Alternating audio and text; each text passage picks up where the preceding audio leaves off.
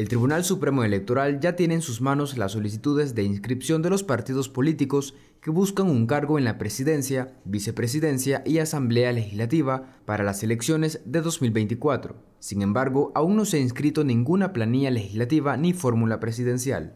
Son siete fórmulas, todavía no se han resuelto, no puedo decirles quiénes están inscritos, porque estas son decisiones colegiadas no puedo yo aventurarme y decirle, mire, ya se inscribió, porque están todavía eh, revisando documentos y eh, elaborando las resoluciones. El tribunal tiene tres días hábiles desde la presentación de la solicitud para inscribir oficialmente a los candidatos, siempre y cuando cumplan con los requisitos. De lo contrario, se les da un periodo de gracia a los partidos para subsanar cualquier ausencia de documentación.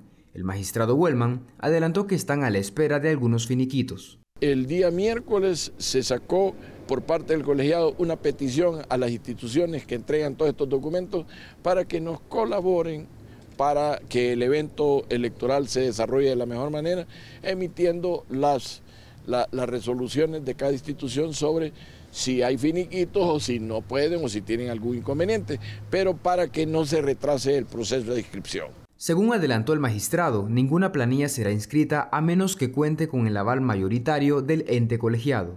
Es por mayoría calificada.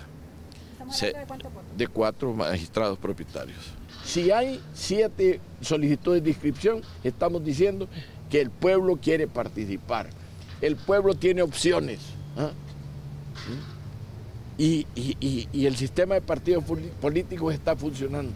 Para el noticiero, Jonathan Vázquez.